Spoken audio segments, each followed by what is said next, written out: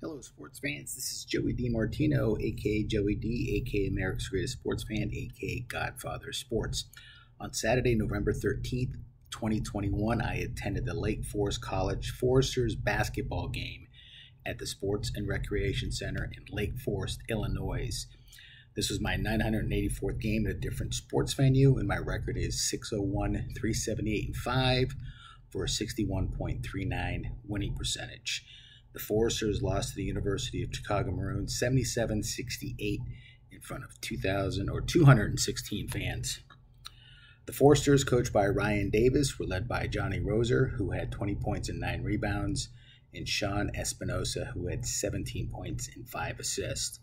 The Maroons, coached by Mike McGrath, were led by Brandon Beckman, who had 20 points, Elliott Pascal with 20 points and 4 rebounds, and Thomas Kurowski with 4 rebounds and Skyler Twyman with five assists. Officials were not disclosed. Uh, parking was in the parking lot right in front of the Sports and Recreation Center. Uh, food was not available, and the center is a great place to watch a basketball game. So, thank you, sports fans. Have a blessed day. Please keep our first responders and military in your thoughts and prayers.